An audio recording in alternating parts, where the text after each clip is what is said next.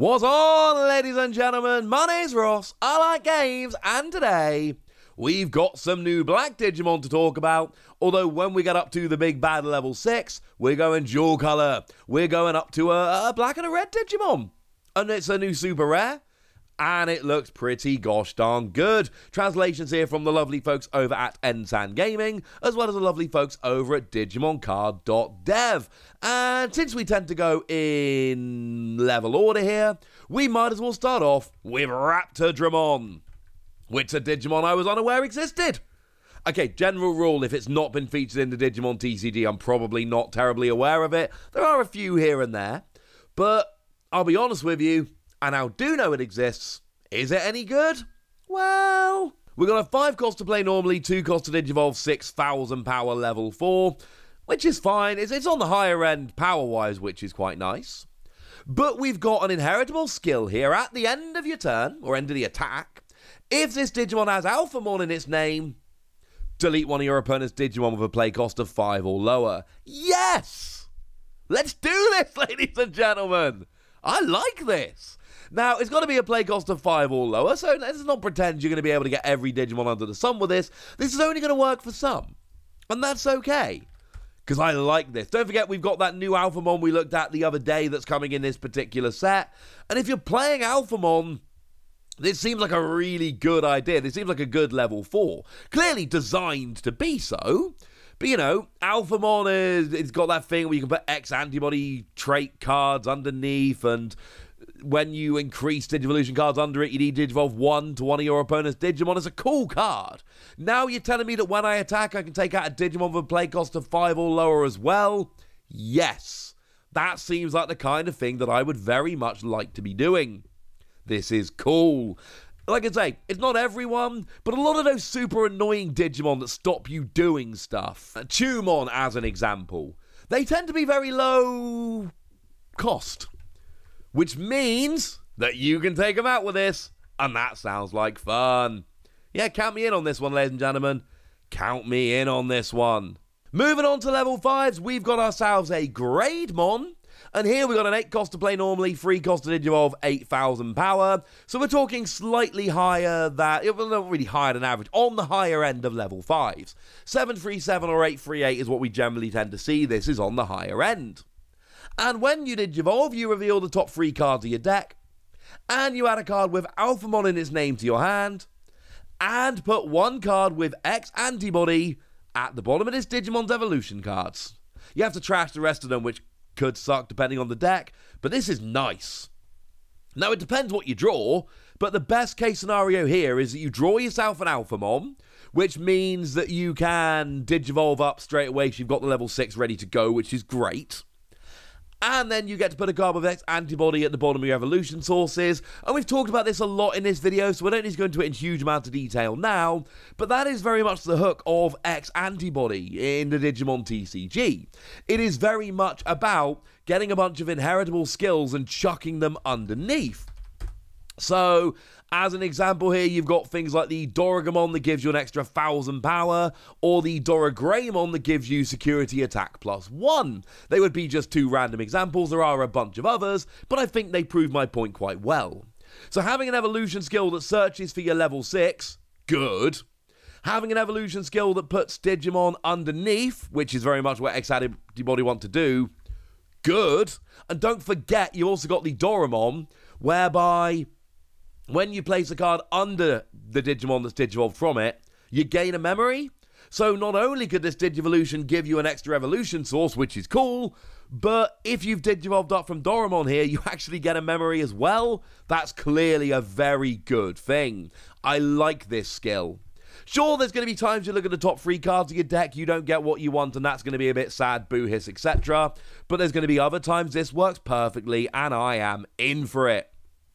Oh yeah, and at the end of your attack, if this Digimon has Alphamon in its name, delete one of your opponent's Digimon with a play cost of 5 or lower. But the I hear you yell?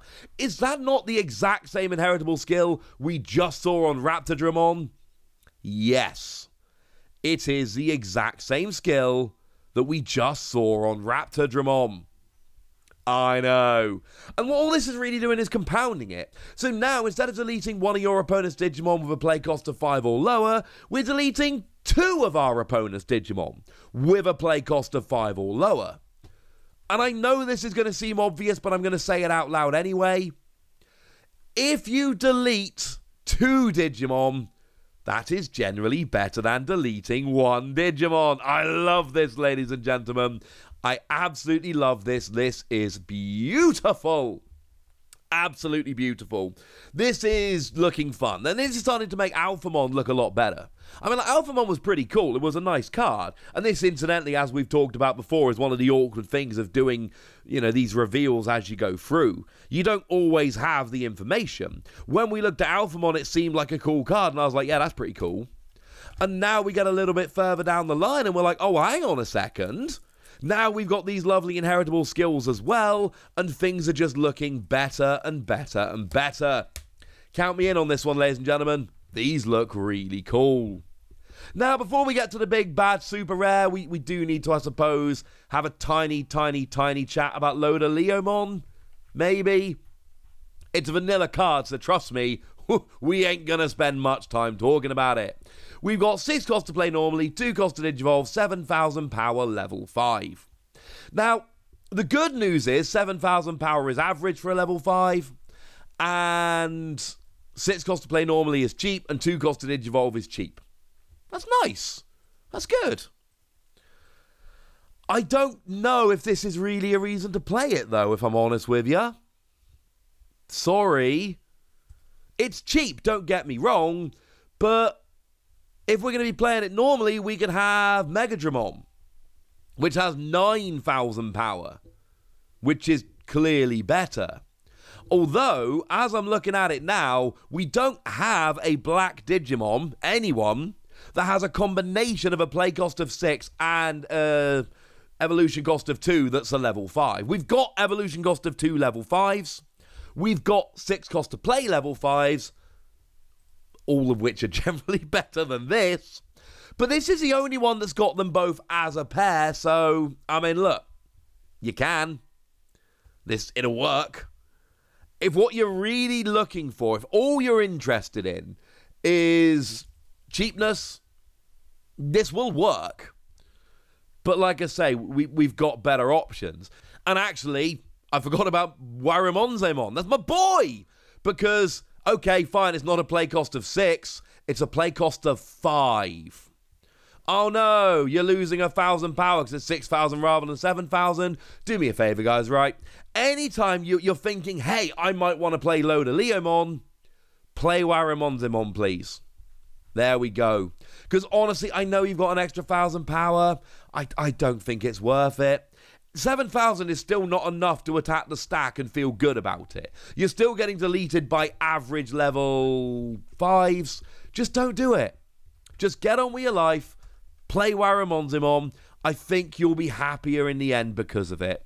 Sorry, ladies and gentlemen, this is a rare example of a card which I just think is bad.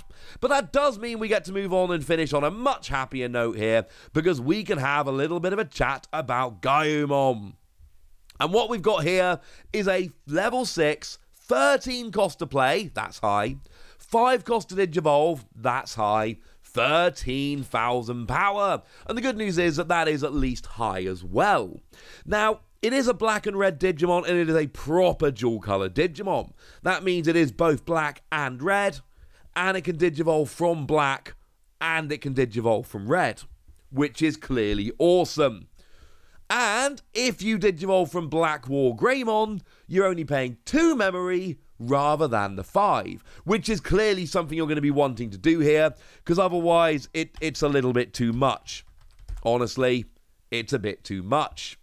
And the good news is, right, BlackWarGreymon, we've got some. We've got the dual colour from BT8, which is quite nice. If there's a red card in your Digivolution cards, you choose a Digimon. If there's a black card, you choose Tamers, and you delete any number of cards whose total play cost is 6 or less. And then once per turn, when your opponent's Digimon are deleted, you can unsuspend. Clearly quite cool. Uh, we had the promo with Digiburst 2 to unsuspend this Digimon. Not too bad. The one from BT5 with security attack plus one and reboot, which is quite nice. And one from BT2 that while your opponent has a Digimon with 10,000 power or more in play, you can play this as a 7 cost. And when attacking, if you attack your opponent's Digimon with the highest amount of power, unsuspend this Digimon. So we've got some good options for BlackWarGreymon, and you can now Digivolve from any of them by paying 2 memory. I cannot be the only one that thinks this sounds kinda cool. This, to me, as far as I'm concerned, is quite nice. Not a reason necessarily to, to play the card, but certainly a rather handy bonus. What else we've got here is security attack plus one and reboot. I should mention this card is also treated as having Greymon in its name, so any skills that refer to Greymon will refer to this, which is nice. But now I've got security attack plus one, I'm taking out more cards when I attack the security, that's good.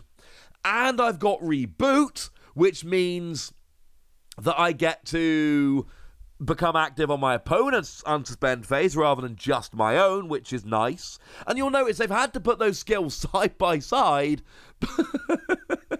because they're running out of room on the card. Because there are so many skills. There are five different skills, or call them what you will, on this card.